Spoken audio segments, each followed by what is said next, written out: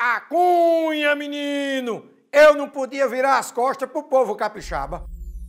Olá, eu sou Rossini Tonho dos Couros, que há 20 anos entro no seu lar através do rádio e da televisão e agora venho lhe comunicar uma importante decisão que acabei de tomar.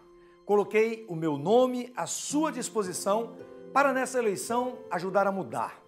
Dando assim para a sociedade capixaba a minha contribuição, resolvi a deputado estadual me candidatar. Como a maioria do nosso povo, eu também já me cansei de ver tanta corrupção.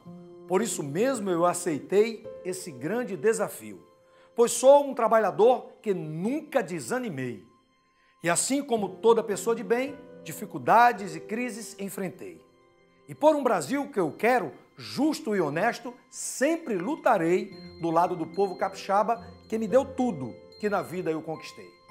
A minha carreira de sucesso no Brasil foi aqui que comecei, com as pegadinhas do rádio, que com muita gente brinquei, nos programas de TVs e jornais por onde trabalhei, até chegar na TV Nacional, onde com fé em Deus sempre estarei. Na escolinha do Gugu foi onde mais tempo passei e o Espírito Santo sempre esteve presente nas histórias que contei, com muito orgulho desse povo capixaba que sempre admirei. Hoje tenho no meu programa Bom de Papo a oportunidade que esperei de valorizar as coisas dessa terra através das mais de mil pessoas que entrevistei.